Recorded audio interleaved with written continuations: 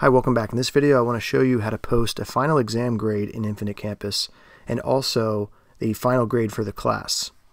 Now this will apply to either a half year course or a full length course that's a full year long. You're going to be going through the same process. So whether it's the end of the second quarter and you need to post the grade for the second quarter and then you need to post a final exam grade and then a final grade for the course, or whether it's at the end of the year where you're posting a fourth quarter grade, a maybe a final exam grade, and then a final grade for the course, we're going to be doing the same thing. So I'm going to show you how to do those in this video. So for this example, I'm going to say I'm in marking period two, and let's just say that this course is ending. It's a half year course.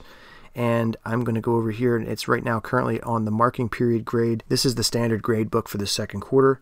I need to post a grade for this class. So to see that from here, what I can do is I can expand this box right here where it says grade totals, click that, and then you'll see the summary of all of your grades for different categories. Then if I go over here, slide this slider over at the bottom, I'm going to see what it says right here, and this is the total in progress points overall for this quarter. So next what I can do is I can post the grades for the second quarter, and again this would also apply to the end of any quarter. You're going to go over here to where it says post.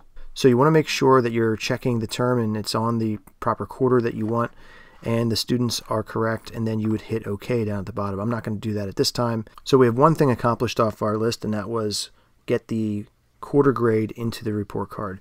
Next what we want to do is go up here to the final exam and I'm going to click on final exam. When you bring up this page you're going to see that these columns are already blank and what you'll need to do is go in and actually type in the percentage and grade in each of these columns.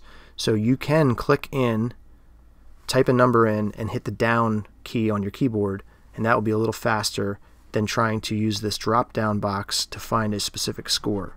So the way we have it set up here at Fleetwood, what you're going to do is really match the percentage and grade for this final exam. So just make sure you go through and that these numbers match each other as you go down. Once you're finished with that, you're going to go over here and click the Save button. Okay, so the last thing that you need to do is post a final grade. So when you open up the final grade, it should look like this, and it's going to be blank. This hasn't been done yet in this example. So when you get to this page, you're seeing right here the average for the quarters.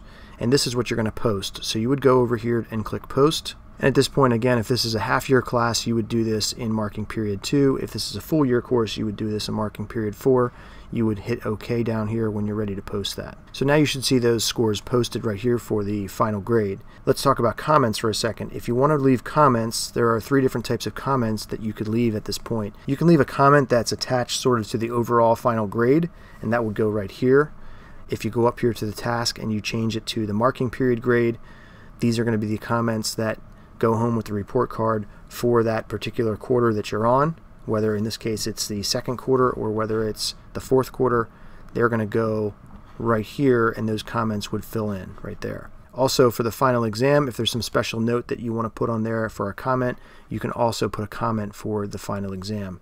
So just keep in mind that there's kind of three different things you need to think about when you're finalizing those grades for either the end of the second quarter or end of the fourth quarter. Hope that video was helpful. Let me know if you have any questions. You can always reach me at kbollendorf at fleetwoodasd.org. Until next time, have a great day.